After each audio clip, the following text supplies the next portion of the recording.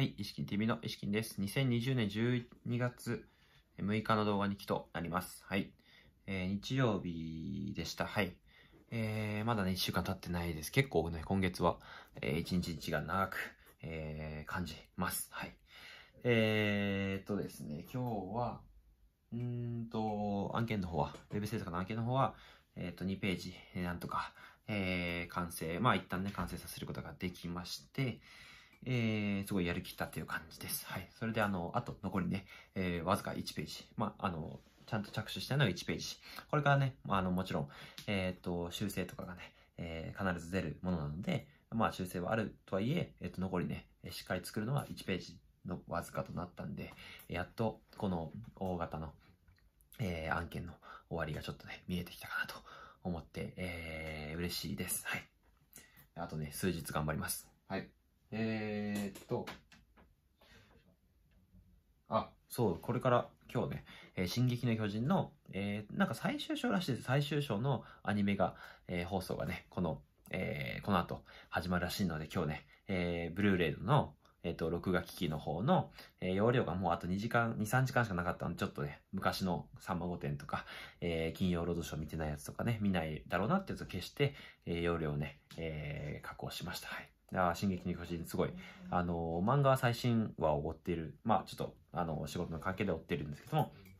あのあその空白のね、エレンたちがその壁の向こうに行った後の話は全然知らないので、すごくアニメで見るのがすごく楽しみです。はい。すごくね、えー、また、えっ、ー、と、毎週ね、楽しいことが一つ増えるということですごく嬉しいです。はい。えー、っと、あとは、うーんとですね、えー、今日はね、あの、読書会、えー、関係で、あの、僕も昔や、まあ今は最近やってない、主催してないんですけども、昔やった時に、えっと、主催者のね、集いというのをやった時に、えー、知り合った、えー、まあその方もイベントを主催してる方なんですけど、フリーランスで個人事業としてやってる方で、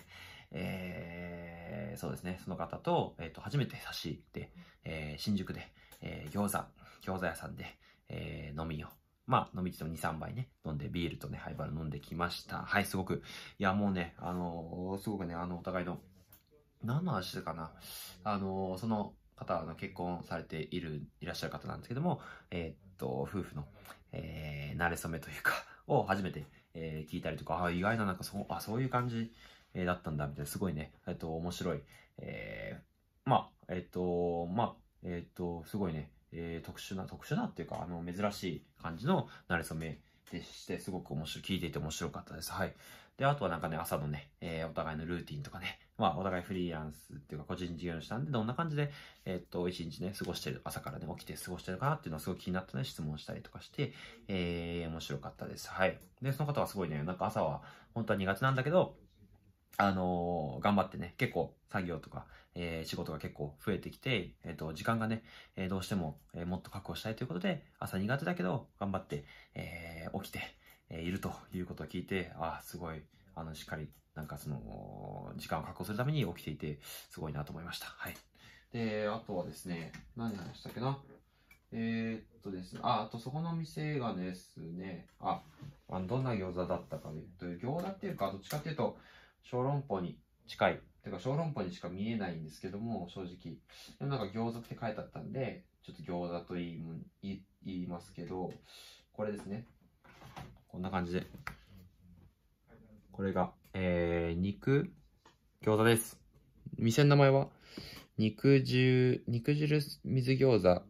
ちょっと名前忘れました。この、読めないんですけど、はい。これ、新宿のね、えっ、ー、と、東南口とかかな、えー、東口からも行けるんですけども、そこに、えー、あって、すごいね、あのー、おしゃれだって、おしゃれっていうか、なんか綺麗だったし、店内もね、えー、なんか、この店員さんもすごく元気、はつらつで、えー、なんかこう、フレンドリーだったし、あの、接客がすごくね、えー、良かったです。笑顔、笑顔が素敵だったし、あとはなんか、あの、本当雰囲気的にはなんか、あの、塚田農場みたいな、え、感じの雰囲気の店員さんでした。女の子、女性の方だったんですけども、はい。えー、ですね。はい。で、あと、あ、そうだ。あれですね。ビールとかハイボールを、えー、自分で、えー、注ぐと、あ、あの、なんかその、3つくらい機械があって、こうやって入れる機械があって、えそれを自分でやると、なんと、あと、マイナス50円に割引になるという、えーマイセルフというね、制度がありまして、それをやったりとか、えーそれなんかその、入れ方とかは、あの、店員の女性の方が教えて、伝授してくれて、えービール、なんか僕はちょっと初めてしたんですけども、あのー一回ね、斜めで入れて、で、泡、白い泡を、えーまあ、入れたら、最後ね、あの、なんか、あの逆側に、あの、レバー倒したら、白い泡だけ出るっていうレバーがあるんですけど、それも初めて知って、で、あの、回したら白い泡だけ出て、で、最後なんかその白い泡、えーを、えっ、と、わざとこう、いっぱいにして、コップでこぼして、結構こぼして、えー最後、綺麗な白い泡だけ残すっていうことがあって、あ、それ、あ、なんでだろうと思ったら、えっ、と、なんかその、そうすることでしっかり、えっ、と、なんだろうな、え最初に出ちゃう白い泡っていうのは、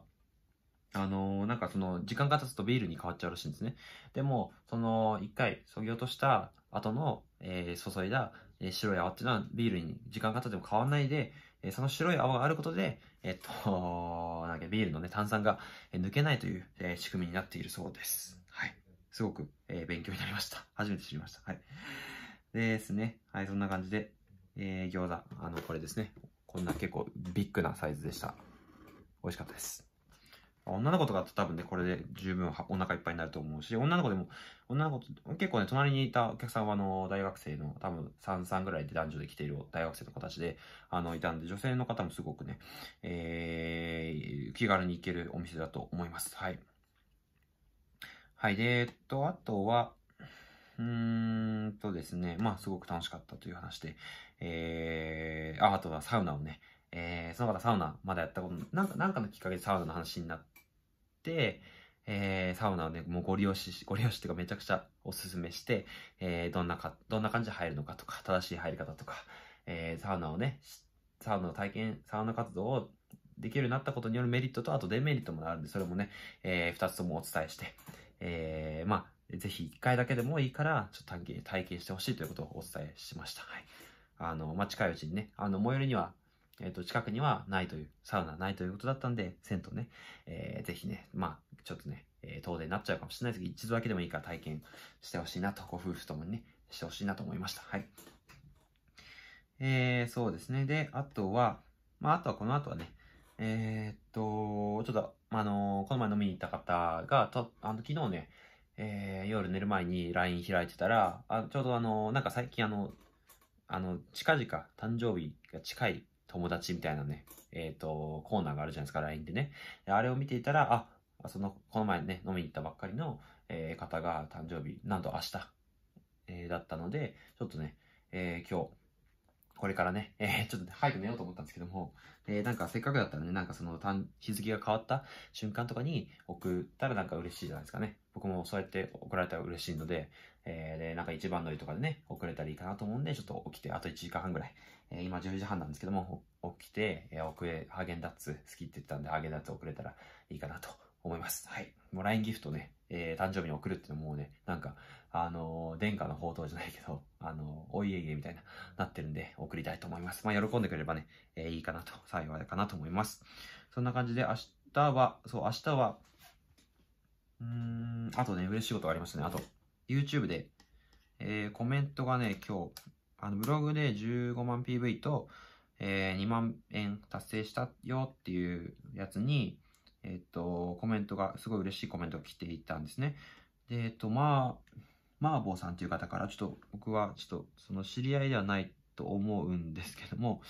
あの、すごい嬉しい、本当に嬉しいコメントが、えーありました。はい。えっ、と、まあ、すごいね、短い文章だったんですけども、頑張って、今時の若い人の生き方憧れますという、すごいね、えーなんかこう、元気をもらえるようなコメントをいただいて、本当に嬉しいです。はい。ありがとうございます。こういうね、えーコメントをいただけると、本当に、なんか、本当にね、一言でもらえると、すごく、えーなんかもっと頑張ろうとか、えーやってきてよかったなとか、なんかそうやってなんか、うん、力になるんで、本当に、